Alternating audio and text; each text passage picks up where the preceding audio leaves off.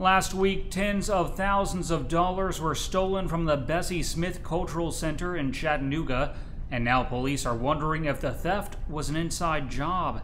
On June 10th, police found swastikas and KKK references spray painted on walls in the center and the cash gone. But the spray painters avoided items of value and caused no serious damage. Police believe the spray painting was a ploy to make the crime look like the work of racists. Authorities are continuing to interview people of interest. Anyone with information is asked to call the police.